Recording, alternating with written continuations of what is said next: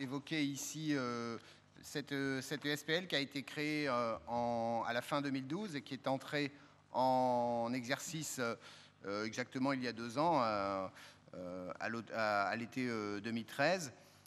nous avons d'ailleurs déjà eu un rapport avec des, petites modifications, mais nous n'avons jamais évoqué de points sur cette société. Donc je vous propose rapidement de faire un, point synthétique de l'activité de la SPLOZ.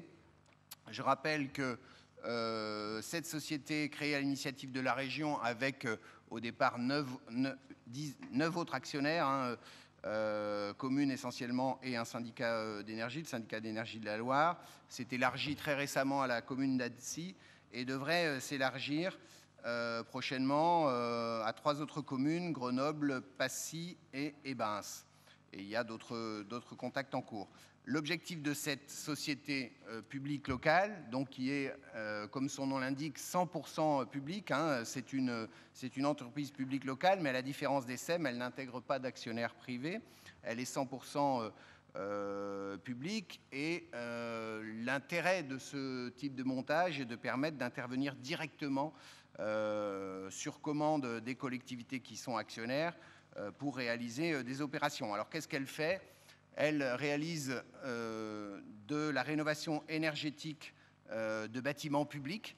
Elle n'intervient évidemment que sur le patrimoine des euh, collectivités actionnaires en faisant des rénovations thermiques ambitieuses en visant le label bâtiment basse consommation rénovation et en, en permettant une mutualisation importante de compétences spécialisées une mutualisation euh, du financement, puisqu'elle s'appuie essentiellement sur le principe du, tiers financement euh, au titre euh, d'un partenariat de type PPP, mais ce n'est pas un partenariat public-privé, c'est un partenariat public-public, puisque la société appartient à ses actionnaires publics. Alors le tiers financement, vous avez à, l'écran un petit schéma de son principe. Le principe est simple. Hein c'est que la SPL investit, euh, réalise les études, investit pour le compte des collectivités, réalise les travaux, donc finance euh, l'ensemble des opérations et ensuite est rémunérée par un loyer euh, qui s'étale sur 20 ans et dont le principe est de mobiliser au maximum les économies d'énergie générées. Alors, il, ne s'agit pas du, fameux temps de retour que l'on évoque souvent quand on parle de rénovation énergétique, il n'y a pas de temps de retour de 10 ou 15 ans, euh, c'est en, matière de bâtiments beaucoup plus euh, long que ça. Par contre, on finance une partie significative, voire très significative, des travaux et donc du loyer que la collectivité verse à la SPL grâce aux économies d'énergie. On peut dire qu'en matière d'action publique, c'est unique puisque aucune, euh, dépense de fonctionnement ou d'investissement n'est couverte par des recettes. Euh, à l'exception peut-être euh, effectivement des TER euh, qui ont un montage différent, à l'exception des, TIC que l'on aurait pu monter de cette façon-là, mais aujourd'hui les dépenses d'investissement de la région ne sont pas couvertes par des recettes. Là, on a une part de recettes qui vient alléger finalement la dépense. Donc, pendant tout le temps d'amortissement et de paiement du loyer qui dure une vingtaine d'années, euh, ce loyer est en partie euh, couvert par les économies d'énergie. Et puis en fin de paiement, eh bien, euh, c'est entre guillemets tout bénéf puisque les économies d'énergie permettent de réduire les dépenses de fonctionnement à 100% cette fois à partir de la fin du loyer. C'est le principe du, tiers investissement que pratiquent aussi évidemment les acteurs privés dans le cadre des PPP, mais à un coût en général beaucoup plus élevé pour la collectivité. Alors, la région euh, évidemment, euh, est, actionnaire de cette société. Elle a décidé de confier à la SPL, euh, dans un premier temps, cinq opérations de, lycée qu'on va voir maintenant. Donc il y a le lycée Camille Claudel à Lyon. toutes ces opérations de lycée ont fait l'objet d'études et rentrent ces jours-ci. certains ont déjà démarré, d'autres vont démarrer dans les jours prochains en phase de travaux. Euh, pour une livraison euh, à la rentrée 2016, euh, donc sur un peu plus d'une année de travaux. Donc on a le, lycée Camille Claudel à Lyon. le lycée Montgolfier à Nonec, qui lui sera livré plus rapidement dès la fin de cette année, le lycée des Canuts à Vaux-en-Velin, le lycée La Pléiade à Pont-de-Chéruy, et puis je voudrais euh, bah, utiliser un de ces cinq lycées un petit peu plus en détail pour vous montrer comment cela fonctionne. Donc le lycée Amblard à Valence, euh, dont vous voyez quelques images là. Alors c'est un lycée de centre-ville, euh, patrimonial, donc on a aussi un, enjeu architectural important. Et effectivement, on est obligé de proposer des réponses qui conservent l'aspect du bâtiment. donc les performances énergétiques qui sont visées sont euh, sur l'ensemble des cinq lycées euh, de gagner 40% d'économie d'énergie. Il se trouve que sur le lycée Amblard, on va beaucoup plus loin puisqu'on descend à 57% euh, de réduction de, consommation énergétique. et surtout, ce qui est important, c'est que sur l'ensemble de la période de loyer, c'est-à-dire sur les 20 ans, vous avez là à, l'écran deux, simulations. Une euh, simulation euh, qui part du principe d'une augmentation euh, plutôt raisonnable du prix de l'énergie de 3% par an, qui a été bien souvent dépassé les années précédentes.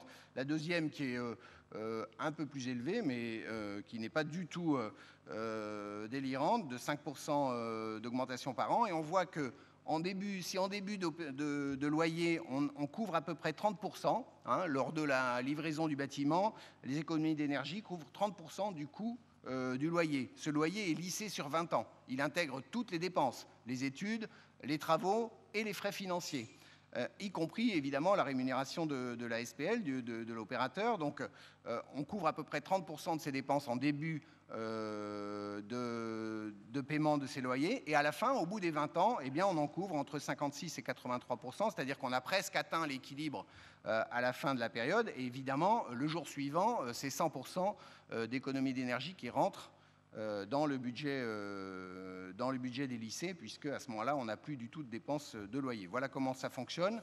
alors, au-delà de, de, la région, on a des travaux qui concernent euh, la ville de Bourg-en-Bresse, essentiellement, euh, qui a euh, déjà démarré les travaux. Vous avez là le groupe scolaire des Vennes, dont, alors ça ne se voit pas forcément très bien sur la photographie, mais l'ensemble des menuiseries ont déjà été changées, là, sur la photo que vous avez, et il reste à, faire l'isolation thermique extérieure. vous avez un petit camembert qui mentionne la part des travaux qui ont été affectés sur cette opération aux économies d'énergie. Donc en gros, on a 90% euh, euh, des travaux qui concernent les économies d'énergie, mais on a aussi évidemment des petits travaux euh, qui peuvent venir avec. Là, il s'agit de mise, de mise aux normes accessibilité. il va de soi que quand on fait une opération importante, on ne s'amuse pas à laisser des sujets sur le côté. Voilà.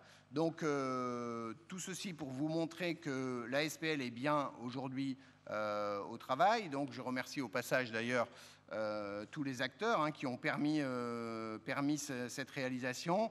Euh, les agents de la région, évidemment, qui ont travaillé sur la conception de, l'outil.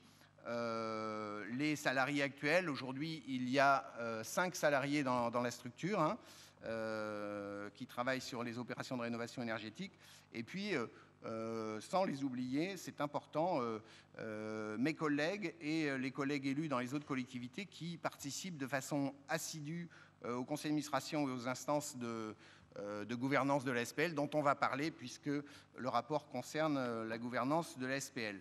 J'ajoute un dernier mot concernant la réalisation des travaux. ces travaux ne sont évidemment pas réalisés par les cinq salariés de la SPL, vous en doutez, ils sont réalisés par des entreprises privées. Euh, donc, il y a évidemment intervention euh, de privés dans, la réalisation des travaux de manière très importante. Et même, on a regardé sur les premières opérations, et notamment sur les cinq lycées qui ont été confiés, la critique qui avait été faite au moment de la conception de la SPL était est-ce que vous allez faire travailler les entreprises régionales? On a, pour l'instant, sans intégrer la sous-traitance, euh, un taux euh, de, de commandes auprès des PME euh, qui est de la moitié, c'est-à-dire que 50% des marchés sont aujourd'hui pris par des PME au stade de la consultation initiale, donc sans compter évidemment la sous-traitance que peut faire un certain nombre de, plus grandes entreprises ou de grands groupes. Euh, voilà euh, quelques éléments techniques. Alors j'en viens à la, à la, délibération qui nous concerne aujourd'hui. Il y a deux points dans cette délibération. Un premier concerne, le premier point concerne la modification du pacte d'actionnaires. Alors il faut savoir que la région est aujourd'hui, euh, de fait de, du fait de, de son initiative très largement majoritaire au sein de la structure, hein, puisque sur les 5 millions d'euros de, capital, 5,2 millions d'euros, elle en a 5. Donc la région est évidemment très majoritaire au capital. Et donc on a cherché des solutions pour que les autres collectivités, qui sont maintenant 10, puissent participer aux décisions de la SPL. On en a besoin évidemment pour la vie démocratique de la SPL. On en a aussi besoin pour des raisons juridiques euh, pour solidifier et renforcer euh, le pilotage de la SPL euh, dans le cadre des marchés in-house, c'est-à-dire la, possibilité d'accéder directement à la SPL par les collectivités suppose que celle-ci puisse contrôler de façon complète la SPL. Donc on modifie ce pacte d'actionnaires. En deux mots, on spécialise les instances. Aujourd'hui, il y a un comité d'investissement qui définit